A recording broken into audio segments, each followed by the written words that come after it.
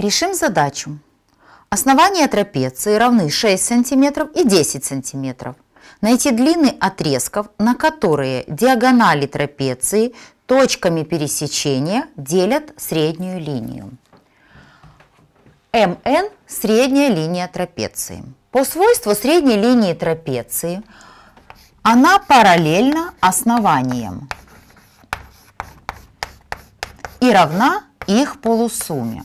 Найдем среднюю линию трапеции. МН равна, равна BC плюс AD и разделить на 2.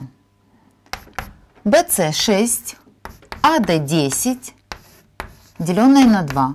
16 разделить на 2 равно 8 сантиметров. Итак, средняя линия трапеции 8 сантиметров. МН параллельно BC. М – середина АБ. Значит, С будет середина АС по теореме Фалеса. Запишем. М – середина АБ. МН параллельно БЦ. Значит, С середина АС по теореме Фалеса.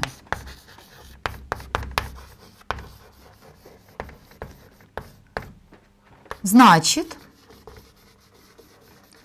отрезок МС является средней линией треугольника ABC.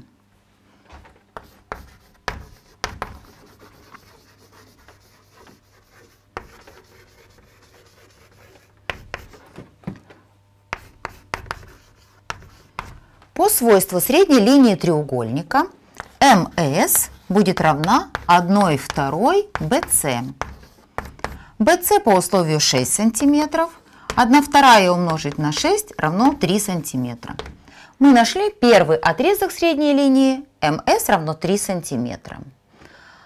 Э, аналогично КН тоже равна 1 вторая BC по э, свойству средней линии треугольника BCD.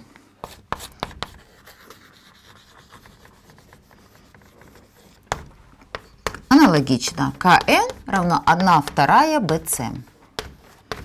То есть 1 вторая умножить на 6 равно 3 сантиметра.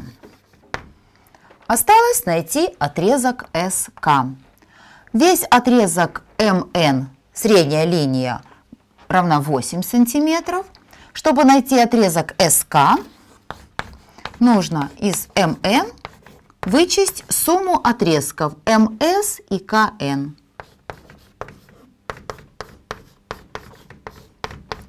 МН у нас 8 сантиметров. Вычесть 3 плюс 3 будет равно 2 сантиметра. Мы нашли отрезки, на которые средняя линия делится диагоналями трапеции. Запишем ответ. МС равно КН и равно 3 сантиметра.